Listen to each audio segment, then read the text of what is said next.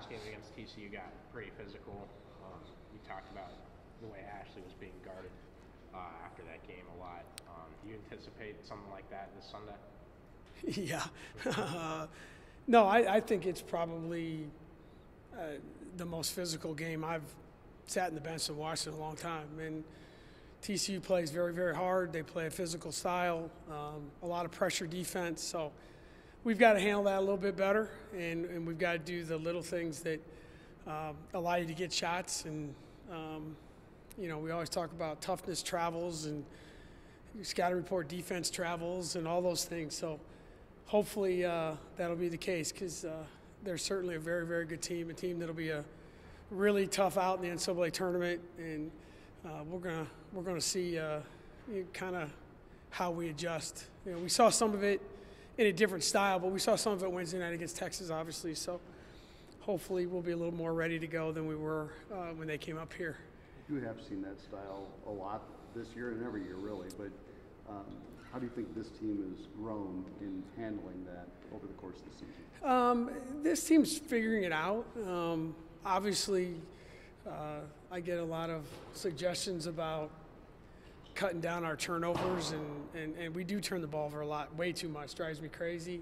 But this group is, is finding other ways to get through it. Um, statistically, we're, our turnover margin is, is awful and got to be coached a lot better, and we're trying to figure that out. But this group just keeps playing. Um, you know, there were plays in the Texas game that, you know, you didn't draw them up that way, but they're finding ways to get it done, and uh, we're finding ways to score. We're finding ways to guard. Um, we're, we're keeping our head above water rebounding wise.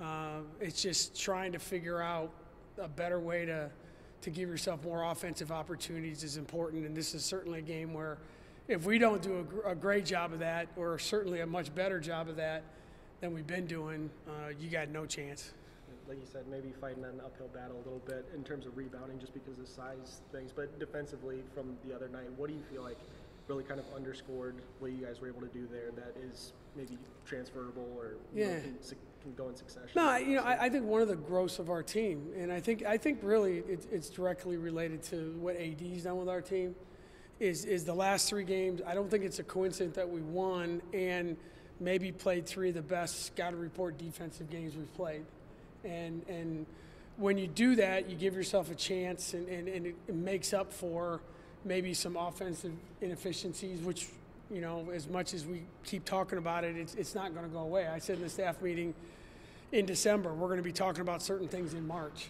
and it's February, and it's going to be March, and we're still talking about them, and it's not going to change. So, what what what can you make better instead of just sitting around complaining about what's bad? And for us, it's about um, getting, you know, when you get an opportunity to score, score, score in transition. Um, the live ball turnovers haven't been awful, but then it comes down to doing the hard stuff.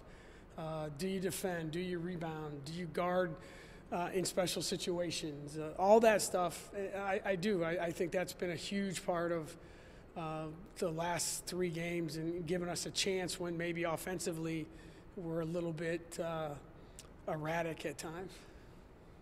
Do you think you have different team to face TCU this week in terms of uh, you talked about the scouting report defense, but in that TCU game and a few of those early losses, they didn't hit shots down the stretch.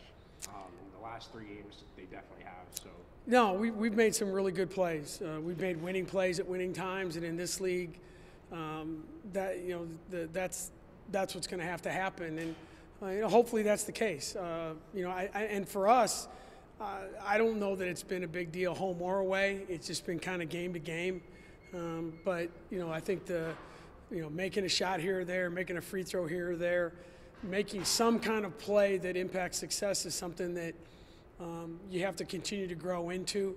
And and I think you know with Ash and Kristen, you know we have two really dynamic offensive players. Now it's just a matter of you know can we get them the ball? Can we make the right decisions?